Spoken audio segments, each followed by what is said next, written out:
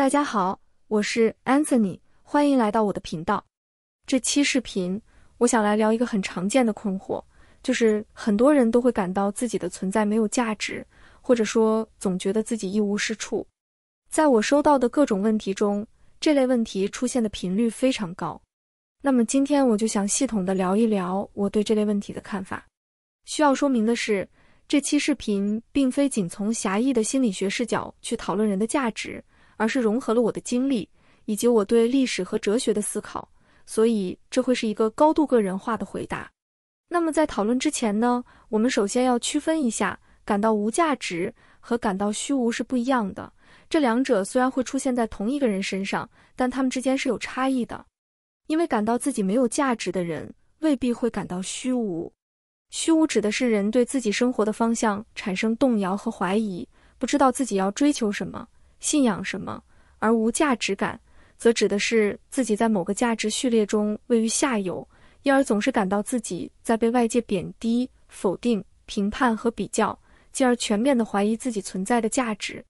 每个人看重的价值序列是不同的，比如有人是因为外貌而自卑，有人因为智力而自卑，有人看重财富、学历等等。这通常取决于每个人所处环境中重要他人的意见。以及某些创伤事件，比如说你的父母经常评判你的外貌，那么你可能在这方面就非常的焦虑。在上学时，由于考试成绩不好被老师羞辱，你的自信心可能就崩溃了。也就是说，当一个人陷入到人际比较中，如果这种比较带有明显的优劣之分、等级之分、高下之分，并且伴以某种惩罚时，那么人就容易陷入无价值感。进而怀疑自己本身就没有价值，失去了改变的希望和动力。虽然无价值感是一种任何人都可能在生命中出现过的感受，但在中国，这种无价值感要格外严重和普遍，因为中国社会的制度和文化总是倾向于将人纳入到很有限的几个维度之中，从而便于比较和分出高下。这当然有历史上的原因。在五月十七日讲地理环境缺陷的那期视频里，我们就说到。早在上古时期，中国政治制度的演化方向就体现在给人与人之间制定更加严密的等级身份，从而确保利益的有序分配。两千年的中国历史也基本是按照这个方向发展的。权力不仅要垄断经济利益、利出一孔，还要在思想文化上打造单一的价值观，因为多元的价值观和评价体系必然会增加每个人的选择权和自主权。更可能使一个人发现自己的价值，而维持单一的评价体系，则大多数人在这个评价体系中都是失败者，变得更加自卑，但也会更加在意上级的赏赐和提拔，变得更好管理。商君书讲的“儒则贵爵，弱则尊官，贫则重赏”，就是这个道理。在当代中国，这种对人的价值感的剥夺也是无处不在的，比如很多中国人。在童年都有一个被父母拿来和别人家的孩子比较的经历，这个别人家的孩子往往不止一个人，但只要任何一个方面比自己强，都会成为父母打压自己的话题。父母是个体与世界链接的第一个纽带，因此很多人的无价值感首先是从和父母的关系中习得的。他会感到自己的价值总是浮动的、不稳定的，自己必须格外的努力、拼命的学习、工作，变得非常优秀。当然是在世俗意义上的优秀，才能换来父母那充满不确定性的夸奖和鼓励，从而感到一种暂时的价值感。对无价值感的恐惧太过强烈，使得很多人终其一生都在等待父母夸奖自己。大多数人的青少年时期都是在学校度过的，而中国的学校也是一个剥夺内在价值感的场所。我们在之前的那期讲社交恐惧的视频里也提到过。学校通过考试、排名以及公开的奖惩机制，周期性的制造等级差距，使每一个人的内在价值被完全的剥夺。个体的价值仅仅体现在外在的考试成绩。这种人的价值只能来自外部现实的观念，逐渐在内心深处扎根。当一个人长期的被剥夺内在价值感后，他就会完全的以外部标准来定义自我。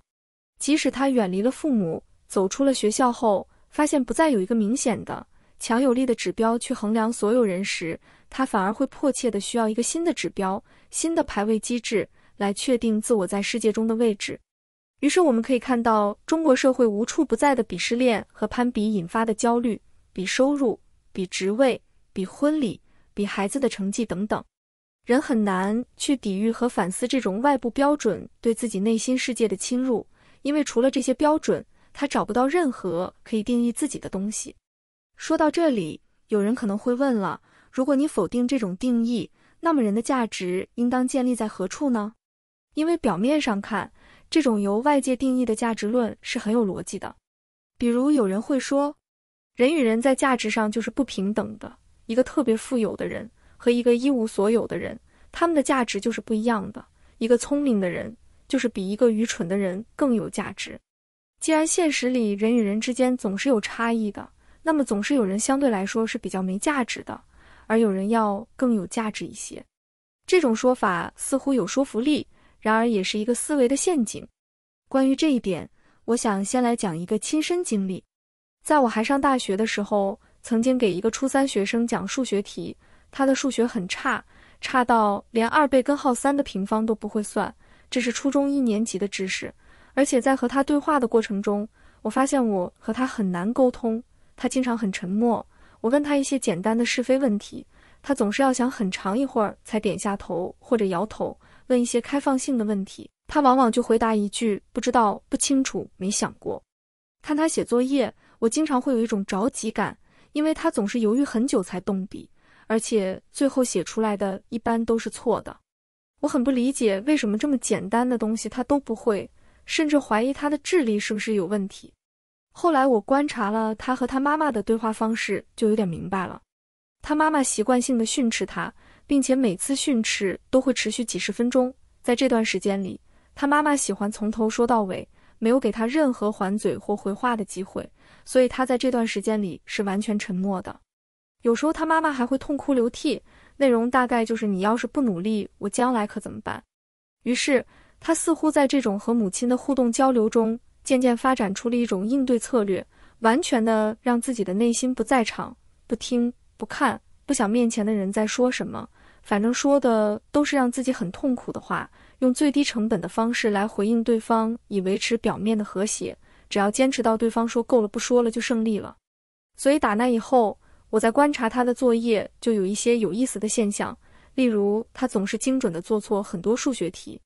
通常来说，如果一个人不懂原理而纯粹靠蒙的话，那么他应该是一会儿答对一会儿答错的。但他几乎每次都错，这很难用不懂来解释。我在这里感受到了一种纠结和抗拒，那就是他潜意识里并不想答对，因为他分不清楚做题、上学和考试究竟是出于妈妈的期待还是自己的期待。但做错题目必然不是出自妈妈的期待，人往往会选择那个能够维持心理系统运行成本最低的策略。如果做对题目，就要花费大量的精力去辨认我的行为究竟是出于母亲的意志还是自己的意志，这是非常难受的。但是如果做错，虽然会挨母亲的骂，但至少可以确保自己的行动是独立的、自主的。当然，他自己未必能意识到这一点，但这种现象在很多人身上都有体现。比如，有些人生活过得很糟糕，不停的犯错或者搞砸一些事情，表面上是出于无意或者说失误，但其实是有主观原因的，也就是通过这样一种消极的反抗来保持自己的独立性。后来。我就感到单纯的聊数学题是很浪费时间的，因为数学题已经和那种训斥的声音绑定在一起了。我想要找一个突破口，于是我问了他很多的生活细节，包括喜欢去哪玩，都有什么朋友之类的。我终于发现他喜欢枪。说到枪的时候，他明显改变了原先那种面无表情的状态，他开始越说越多，越说越细，还比划起来。然后我跟他讲这个枪托和枪身之间的比例关系。以及斐波那契数列等等和战争有关的数学，他明显比原来有兴趣多了，没有像刚开始那么恐惧根号了。我终于感觉到他是一个有活力、有情绪的人了。当然，我并不指望通过这种方法来提高他的成绩，因为他只是在这样一个特定场景下才如此。等他回到自己家里或者学校，又会变得和原来一样。但通过这件事，我确实发现了他的那种迟钝，并不是本质性的。如果仅仅从现象来看，我们会很容易判断他的智力可能和小学生一样，但如果我们对这种现象深入思考，就能发现，他这种迟钝其实是一种抗拒，而这种抗拒背后，其实正是对自由和独立的追求。在这个意义上，人性都是一致的。所以，人拥有内在的价值，这也可以说是一种高于现实、超越现实的信念。带着这种信念去看待自己和他人，现实才更可能朝着这种信念去发展。正如一个婴儿刚出生后什么都不会做，从现实的角度来说，他没有什么价值。但人们会把婴儿视为有着丰富潜力的生命，去信任和关爱他。结果，这个婴儿长大后也更可能成为一个内心丰富且聪明的人。反过来说，只要你从现实出发去衡量和评判人的价值，不论你采取什么标准，都不可能得出每个人都平等的有价值的结论的。这里的关键在于，人的价值从根本上说，只能来自超验的理念世界，来自人超越现实的可能性，而非现实性。正因为它立足于抽象的超验世界，所以它不会被现实中的矛盾和冲突驳倒，反而被视为是高于现实并且评价现实的一把尺子。这就好比说，现实中的原型从来都是不完美的、有缺陷的，而理想的、完美的原型在经验世界中是找不到的。但人们还是会不自觉地以理念中的圆去评价和衡量现实中的圆是否足够圆。并且不断追求和接近那个完美的圆，人们不会因为现实中画不出完美的圆，就完全否定它的存在，不去想它，认为它没有意义，认为它只是仅仅存在于观念里的产物。相反，人反而会把理念中的圆视为比现实中的圆要更加圆、更加真实的东西。正是出于这种相信。人才能不断的通过实践行动来改善和进步，而这种实践行动反过来又更加印证了理念才是更高的现实。现代社会的许多概念，诸如人格平等、自由、人权等等，都是在超验的意义上才能获得理解的。很多人都会说，这些概念在世界上任何一个国家都没有完全做到，所以他们是虚假无力的，是人主观想象出来的。但不可否认的是。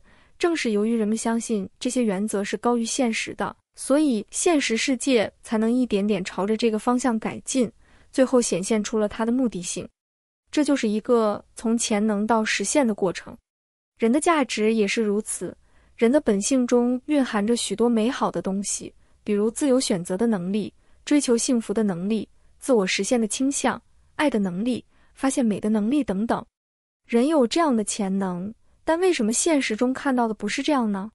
很多人感到自己的本性就是坏的、懒惰的、不好的、没有价值的。他可以列出无数的证据证明这一点。那么这个问题其实就类似于基督教哲学里对上帝的讨论。经院哲学里的一个很经典的问题是：既然上帝是全善和全能的，为什么上帝创造的世界有这么多丑恶？有人提出了善恶二元论的观念。就是说，善不可能生出恶来，因此恶的东西只能来自于恶。那么，如同有一个最高的善作为一切善的原因和根源一样，恶的事物应该也有一个最高恶。于是，世界就存在善恶两个根源，两个实体。来自波斯的摩尼教就是这种二元论的体现。而哲学家托马斯·阿奎那则认为，恶与善并不是对等的两个实存，恶的存在。并非因为有一种独立于善的恶的实体，而只是善的匮乏。例如，暴力和不公正的现象，是因为缺乏爱与正义，而不是因为一种不可避免的邪恶。这里说一下，以后我们还会经常讨论到这种思维的深刻之处。人的精神世界也是这样，人的一些负面的现象只是现象，而非实体和本质性的东西。比如，痛苦是因为缺乏幸福和满足。而不是源于不可避免的本性。人性的善在现实中会被扭曲，但这并不改变善的本质。为什么这么说呢？打个比方，很多人认为人的犯罪源于人的攻击性，于是很自然就会想到攻击性就是恶。那么，只要把这个人的攻击性给消灭了或者改造了，人就变得善良了。但在一个更好的环境下，人的这种攻击性也完全可以导致善的结果。比如，很多人不断在自己的事业上做出成就、取得突破，这其实就来源于一种攻击性。再比如说，很多人都会看到一些傲慢自负的人伤害别人，于是就认为自恋本身是不好的，一切败坏的根源在于太自恋。但实际上，自恋是一个人健康成长必不可缺的东西，是活力和创造力的源泉，而不是需要被超越或者清除的东西。那些恶性的自恋，与其说是自恋本身不好，不如说是自恋在发展中被打断和破坏的结果。关于自恋这个话题，以后也可以深入聊一聊。总之，自恋、攻击性这些东西，它虽然在现实中可能导致恶的后果，却并不能说它本质上就是邪恶的。当然，探究恶的原因当然是没错的，也是很深刻的。然而，很多人对于恶的挖掘和追溯，要远远超过他们对善的兴趣。这会使人越来越感到，呃，才是更加真实和现实的东西，进而加剧了自己的悲观、痛苦和虚无。而当我们从恶是善的匮乏这个角度去看待现象时，就能够对他人和自己的处境保持一种宽容和理解，因为你知道自己的本性是美好的，只是在后天被遮蔽了，或者说缺少来自环境的支持。但这无损于本性中的潜能，在一定的条件和环境下，这些潜能就能够实现出来。表达出来，而这个环境需要人主动的去争取。人正是通过对恶的克服，才体现出自己的潜能。虽然这是一个很不容易，而且也很漫长的过程。关于这个话题还有很多可说的，今天的视频就先到这里吧。如果你有任何问题或个人的困惑想找我咨询，请联系我的邮箱。如果你无法付费或无法加入会员，也请联系我，我会提供其他方式。详情请参考这张图片，我会把这期视频放在心理与教育这个列表内，同时也推荐大家去看我这个列表内的其他视频。感谢大家的收看，再见。